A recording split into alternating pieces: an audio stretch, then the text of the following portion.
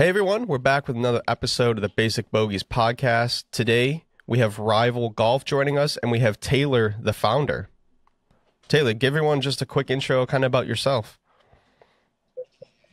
TJ, I just want to say, first of all, thank you for having uh, RIVL on your podcast. This is our first podcast, so we're super excited about it.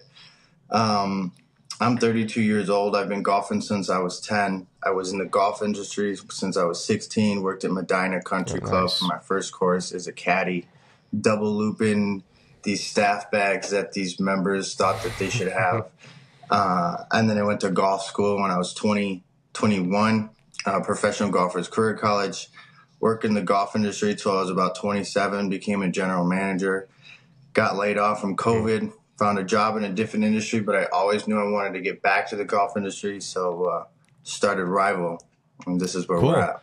Yeah, and I, I, feel like uh, when did you kind of start the company? I guess because I I saw you first stuff probably like maybe four or five months ago, but I, when did you really start up the company? Yeah, we started. Uh, I probably would say I started working on, on building it uh, probably last October, um, but okay. we didn't launch our Instagram till probably January or February, and we were taking pre-orders for about two to three months, and so we got our first official product um, May first and shipped everything out that we had for pre-orders. So we've been doing it for about four months now, and it's been really exciting. Cool. So why? Uh I guess like the wedges are your main thing. Like you're starting to expand with other products, but why was kind of wedges your focus on what you wanted to create? So, kind of the biggest reason was my buddy. He makes really good money, and uh, he replaced his Vokey wedges with used Vokey wedges. And I'm like, mm-hmm. why'd you do that? He's like, because the new Vokeys are too expensive. They're $180. I can get used ones for 110 And I'm like, but the whole point in replacing your used wedges with brand new wedges is so that you have new grooves. Because right now you're just replacing yeah. your used wedges with used wedges. And I was in the golf industry, so working at the golf courses, I knew that we bought the Vokeys for 100 $110 and we resold them for 180 because we needed to make our profit margin. So I'm like, yeah. How hard can this be to go find a manufacturer that can make us a good quality product to where we can sell direct to consumer and give uh, people who play golf brand new golf clubs at a good price, at an affordable price, rather than replacing their used wedges with used wedges. So that's why we started off with the wedges. Um, and what what do you kind of have like? Did you partner with like a shaft company or a grip company that comes on there, or that is that all from the same manufacturer? It's it's all from the same manufacturer. So what we did was we went to ten different manufacturers. We had we sent had them send us wedges. Uh, we went to the went to a simulator and tested out the numbers, and we took the best wedge. We hit about a thousand to two thousand golf balls with each wedge. Chose mm-hmm. the best wedge. They came up with the best numbers, and that's the one that we went with. And our manufacturers, they're they're they're very good. They're very dependable. Awesome. So, what are like the different lofts that you guys offer on the wedges? Right now, sadly, we are just right handed. We will go into left handed, but we do have the 50, the 52, the 54, the 56, 58, and 60. We cool. are hoping to get into like the 46 and the 48 degree. Uh, mm-hmm. we don't have the 64 yet. I know a lot of people are asking for a 64, so we'll get in there.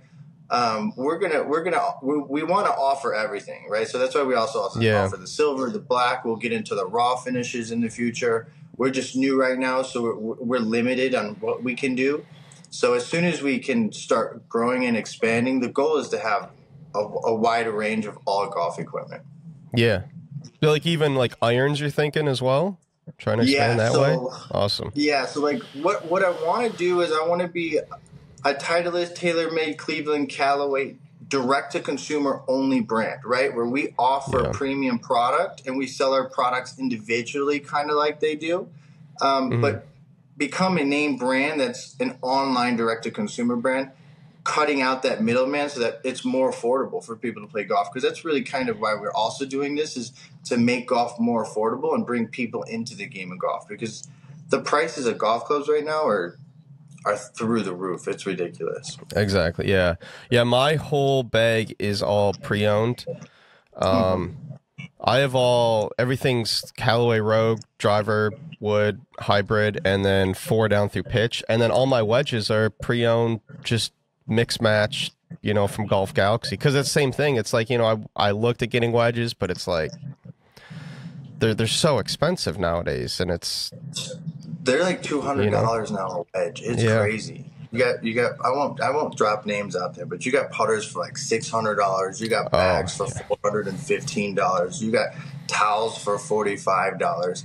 I mean, it's the price of golf products is crazy, and and, and PGA is doing this thing like oh well let's speed up the pace of play or let's bring more people into the game of golf by telling them to tee it forward or not take out the flags take out of the hole so it speeds up the play. Well how about we start with making golf more affordable for people to get into the game of golf? Exactly. Yeah yeah. A little side story. So the my putter i bought it pre-owned i think in 2018 and it's the mini jailbird putter that got really big like a year or so ago when Rickie Fowler, Wyndham uh, Clark started using it, and then those uh, I probably got it for like a hundred bucks pre-owned. And then yeah. they started skyrocketing and those were going like used for like 400, 500. It was insane. Really? Yeah. And you're still using it, or did you? I still use it. No, I thought about it. I thought about it, but I just I've always loved that putter. It's the longest running yeah. club in my bag, and it's yeah. yeah. Um, so you're based out of is it San Diego? Is where you are? Kind of uh, Palm Springs, Palm Desert, La Quinta area. La Quinta is where they host the uh, the Amex tournaments. Yeah. Um, yeah. So yeah, we're out we're out here. So about an hour and a half away from San Diego, hour and a half away from Los Angeles. Yeah. With less uh, traffic congestion and uh, cheaper and more affordable to live out here for sure. Yeah, yeah. How are the tee times there? Because I have friends in LA, San Diego, and that's you know expensive and they're booked out and i mean that's just that's not helping the sport either just as like the clubs aren't in season it's crazy because you got all the snowbirds out here um, mm-hmm. you got you got all the snowbirds out here and uh, in season you're looking at 200 plus dollars for a round of golf at a good golf course and then yeah. um, right now in the summer though i'm going to give a shout out to uh, marriott shadow ridge. They got the summer program for $99 and it's $40 per round of golf to play from may to october. And it's wow. it's one of the best conditioned courses you'll play even in the summer out here. It's great. Cool and uh, what was like? I think the thing that really started to catch my attention with with RIVL is you started doing those like trick shot competition videos, yeah. and some of the people that we've connected with were participating, like Ken He Golf, Swing That John, like those guys were in it, and yeah. I, I, just thought that was brilliant to start, you know, that kind of social media yeah. contest. Yeah. Yeah, I was doing uh, kind of trick shots myself, and I'm like, well, I think it would be really cool just to have my, the followers turn in their coolest chip shot to us, and then not only would it be good exposure for for RIVL to, you know, be because RIVL's not just about me; it's about it's for the people, right? And yeah. so if we could have our followers turning their stuff for us, and then we pick the top three or top four, and then have our followers choose the winner I just think that's a win-win-win situation for everybody because it gives the people who are turning their stuff in exposure on on RIVL it gives us exposure for caring about our customers and then it gives the opportunity for our followers to choose who is the actual winner not it's not like it's rigged or anything like that and the winner's coming from me exactly. it's coming from the people